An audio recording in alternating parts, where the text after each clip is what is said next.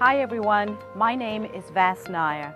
It makes me very proud to be part of Arconic when I hear your stories about how you give back to the communities in which Arconic operates.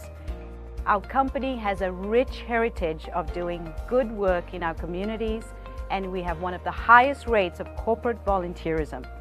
All of this thanks to you. Whether you're in Whitehall, Michigan, or Kunshan, China, or Kitts Green in the UK, whether you're supporting health initiatives, education efforts, or our environment, everything you contribute matters. Thank you for all the selfless contributions and the energy you bring to drive Arconic into the future.